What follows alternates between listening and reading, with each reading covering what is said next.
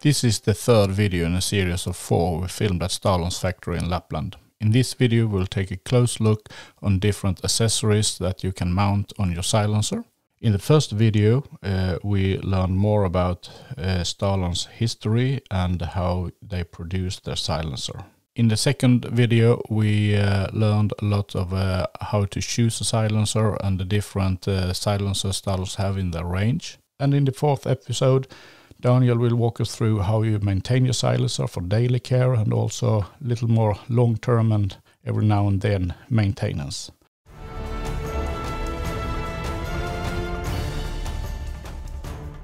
If you haven't seen our channel before, we produce videos about hunting and hunting gear.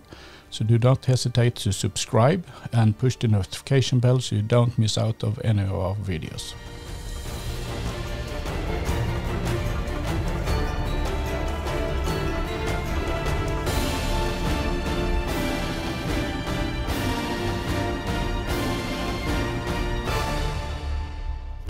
Yet another video with Yeah. products from Stalon.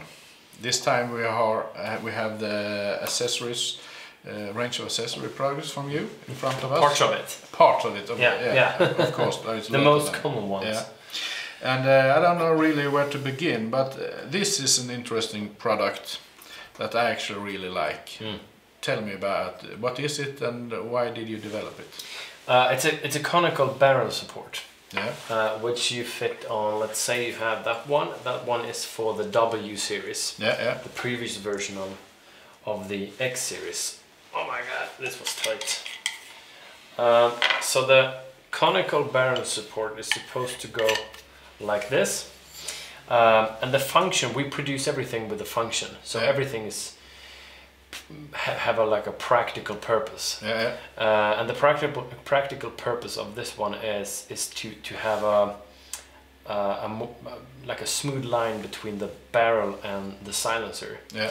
uh, to make it simple or easy to pick up from a holster backpack Yeah. or if you have it on on like a, a gunsling uh, and you have it on your shoulder more or less uh, you won't really get stuck in branches and, and stuff like that so it, it's to make it uh, a little bit smoother between the barrel and the silencer I really like it. but also for design of course I, I would say that 80% of uh, the users buying this is for design Yeah, yeah. For it, I, it I would looks say good. It looks I don't good. think that 80% is using a holster back No, no, no.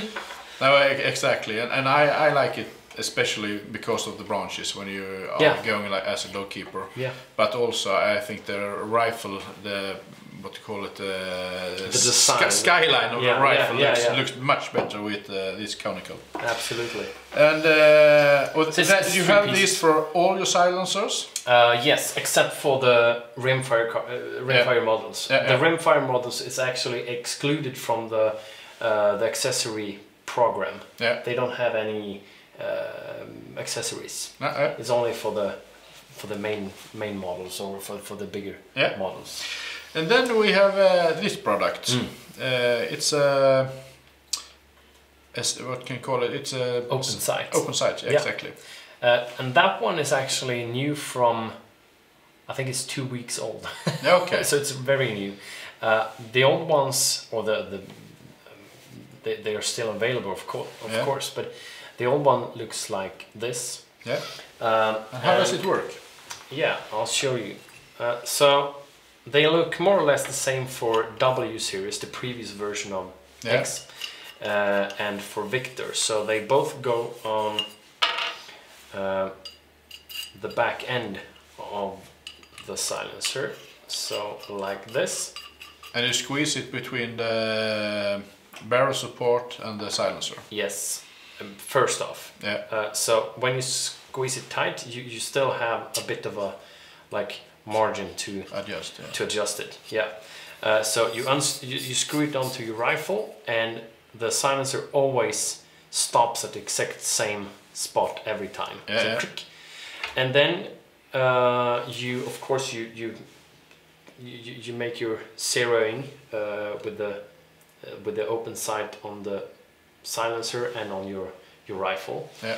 Uh, and then when you're satisfied with the with the configuration, you have a adjustment screw, and that screw is to, to fix it even harder. So when you when you screw that in, you will have the the um, the open sight to be perfectly aligned every time, Yeah. even if you hit it or Yeah. whatever. So after that, you can uh, detach the silence from your rifle and Yeah, and, and screw it back on Yeah. again, and then all the time you will end up having it aligned perfectly. yeah. And you use the blade on the on the barrel, the the other part of the sight. Oh yeah, yeah, of course. The the the the, the, rear sight as a um, alignment tool. yeah, Uh, but the new one, we think that uh, the the problem with having the open sight at the back end of the silencer is that if you have a very short rifle or short barrel, which is very common if you if you thread it and, and have a silencer mounted in, onto it, the the the the the distance between the the sight on your rifle and the open sight on your silencer will be so short that it's more or less it's not useless but but it's it's for very short distance, like a dog keeper. yeah it's, it's very hard to have a good sight in on, on, on such a short distance. Yeah, yeah, uh, so the let's say um, two points version 2 more or less yeah, is mounted in in the front like this. Yeah, Uh, same procedure, you screw it on, uh, you align it to your, your open sight on your rifle, and then you screw it tight with the screw on top. yeah, And then you have it aligned.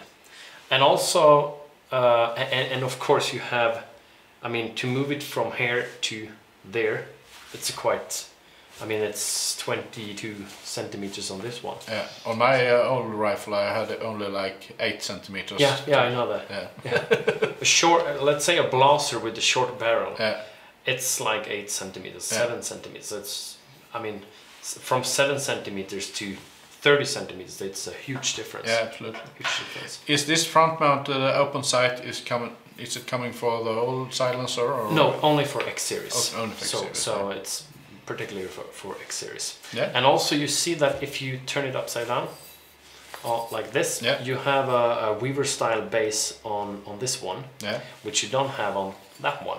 yeah, Uh, so it's it's a little bit of a uh, between what a- six airs Yeah. or how many airs it's Yeah. in the YouTube channel. yeah, Uh, but it's coming a um, accessory for for that one as well. Okay, But that one will be mounted at the back. okay. So you uh, have two different parts. Yes. Yeah, And it's also it's it's not only to like make it easy. It's it's actually to make it better for for the for the end user because it's not very uncommon that someone wants only the the Weaver style base but not the open sight, but the other one wants the open sight but not the Weaver style base and so on. Uh, in this solution, you you'll have uh, the best of two worlds. Yeah. So you have like the open sight separate from from the yeah, uh, from the uh, Weaver style base or the accessory mount, Yeah. as we call it. And this is for like mounting a, a shot cam or a lamp for uh, for dog keepers and Yeah, whatever. yeah. So like a searchlight, if if, if you have uh, like Yeah. um, yeah. Yeah. So and and you you if we had a uh, like a Weaver style base or accessory mount, as you call it, Yeah, on on the front end, you will have a completely different balance of the rifle, but also to have it as a searchlight um, accessory point. Yeah. Um, you, will need to like move your finger at like at the front of the yeah, yeah. It's Uh, much more convenient to have it in the to back. have like yeah, yeah, like on the back. Perfect. So that's the the idea. So we can, then we can take a look on, on this Yeah, neoprene covers. yeah. Why would one you want to have a neoprene cover on the silencer? Uh, the neoprene cover, first off, they reduce the noise of of um, of the silencer, more or less. Not the noise like when you shoot, but the Yeah. noise when you when you walk in the forest, like yeah, you hit you know, branches and stuff like yeah, that. this kind of sound. Yeah, Uh, to have this one, you reduce that sound. So when you like stalking uh, or like sneaking up to an animal, Yeah. uh, you don't really want this kind of sound. Yeah. Um, so that's one one thing.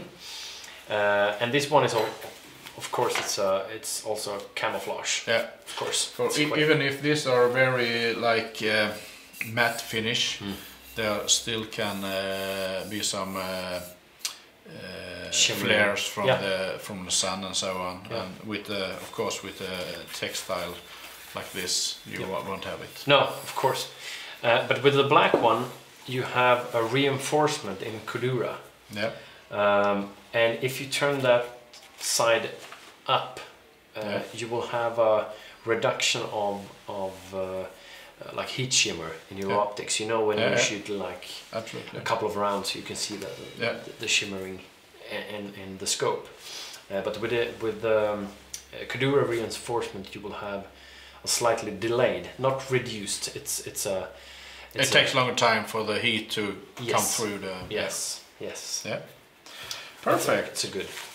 And uh, then we have the uh, different front ends for the silencer. Uh, Yeah. you can buy them as accessories. Yes, correct. And uh, so this is this is the complete silencer, and this is the back end. Yeah. Uh, so you buy a complete silencer, but of course you can buy an, a front end as an accessory Yeah. and turn it into a, a different model Yeah. or whatever you call it. So you can you can change from a short one to a, Yeah. A longer version. Yeah, you can vary your calibers or Yeah. your uh, your uh, purpose, like one for driven hunts and one for stalking, different balance and so on. Yeah, so you can have Yeah. two fronts in the same calibers or two fronts in different calibers or whatever you like to to have, Yeah, yeah. more or less. So And, and this is there now. You don't need a license for this. no, uh, this one is actually uh, considered as a, a accessory, Yeah, yeah, yeah, spare yeah. part. Yeah. Uh, but the but the back end is marked with the serial number, which is the part which is actually licensed Yeah. by by the law. Yeah. And that difference, of course, from country to country as well. In some Um, countries there is no license, and Uh, yes and no.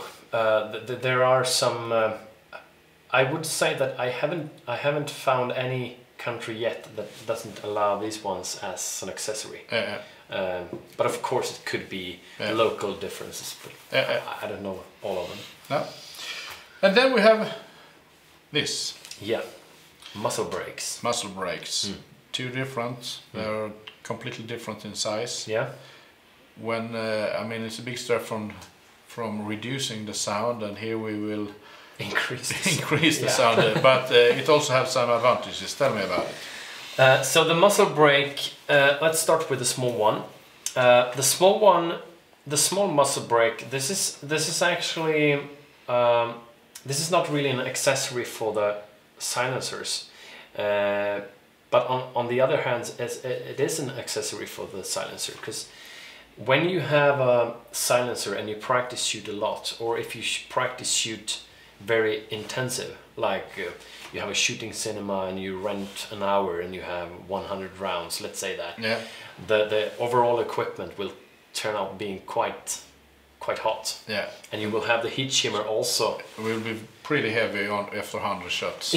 yeah, I mean, I mean, if you shoot it hot, like for a long time, you will have heat shimmer in your in, in your optics. That Yeah. it's it's. I mean, it's useless to practice with Yeah, these kind of heat shimmers. Then this little piece will will help you reduce the heat shimmer, yeah, but it will it will increase the sound. yeah. So uh, Uh, so it's it's it's for practice, Yeah. and it's also good for. I mean, we're specialized in in products that you mount on um, in front of your rifle, yeah. and this is also a piece that you mount in front of your rifle. Yeah. Um, Is this? Uh, do you need a license for buying this? no, you don't need them. No?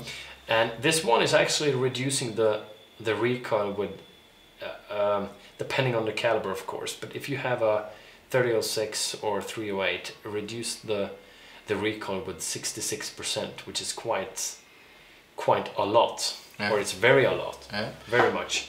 Uh, the silencer reduced the, reduced the recoil of approximately 50% depending on the model, but Yeah, yeah. 45 to So 55. there is a slightly more. Little more, yes. Yeah. And tell me about the, the screws you have, here. You you can uh, move them around. Yeah, so the screws, I don't know if you can see it, uh, it's quite small. There you have the screw. Uh, so the screw is is actually to, you can place them wherever you want, of course, Yeah. but it's when you screw this one onto your rifle, um, I guess you will have it on underneath the, the muzzle brake Yeah. because if you block the the uh, the gases will will like be pushed to the side instead of of, uh, of in front if you don't have this one. Yeah. Uh, but if you block the gases traveling downwards, Yeah. uh, you will you will reduce the, the barrel flip. yeah. So if you don't have anything pushing downwards, you will have a more, much more uh, Stable shooting. stable shooting. Yeah Yeah.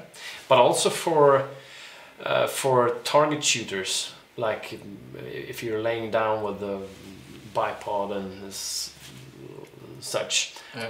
um, you will reduce the, the amount of, of dust and, and and stuff like that blowing up into the optics and into Yeah. your equipment Yeah. so that's also a good way to use them Yeah. And and this. Yeah. Is it, is it just a bigger version of that? Uh, yes and no. Uh, you don't have the adjustment screws, uh, and it's qu- quite uh, uh, quite heavy. It's, Yeah. it's almost 300 grams, and this one is 76, I think. Yeah. Take it that with a with a little bit of uh, salt, but Yeah. uh, around 300 grams. And this one is actually developed for for uh, like step two of, of practice shooting when you want to be able to to have the same balance in your rifle because if you mount this mount this on your rifle you will have 300 grams in front of your rifle Yeah. uh, let's say this one uh, is weighing 307 uh, 374 it's uh, it's the XC version Yeah. uh, so the balance when you use that one and that one will be similar. Not Yeah. exactly the same, but similar. Yeah. So if you practice shoot and you're really picky with your configuration and your practice shooting, and you want to be as accurate as possible, uh, this tool could be really. It, it could really change your way of shooting Yeah. and practice shoot if you want to shoot a Yeah. lot. But uh, you should def definitely wear uh, yeah, hearing protection when using this. yeah, um, yeah, absolutely. Both both the hearing protection on. Yeah. Do you make this in all the same threads as you have on the silencers? So like uh, uh, 14 and 15 and 18? Uh, not all of them. Huh? Uh, this one is uh, have more threads than this one. Uh, this one is quite new. I need a little. Uh, I don't know if I have the details in here. No. Uh, I don't have the exact. I don't remember them actually. Yeah. Uh, the exact thread we have, but we have a lot of threads Yeah, yeah. for for the muzzle brakes as well. Yeah, so it's only to check up on your homepage or at the retailer who sells them. Yeah, the Yeah. webpage tells everything about the product. Yeah.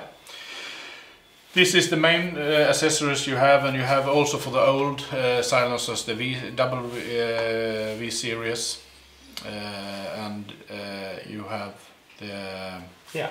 silencer grease. Yeah, I forgot to show you this one. Yeah, This is the silencer grease, and this is actually a pretty simple uh, accessory, and it's not really an accessory. It's it's a it's a part of of maintenance and maintenance and, and care product. yeah, Uh, but this silencer grease is is not any type of, of grease. It's uh, it's a grease that you uh, I'll show you. It's a red grease, and this kind of grease is um, it's not only withstanding like 1200 degrees. It's also withstanding the pressure, and the pressure is more important than than the heat.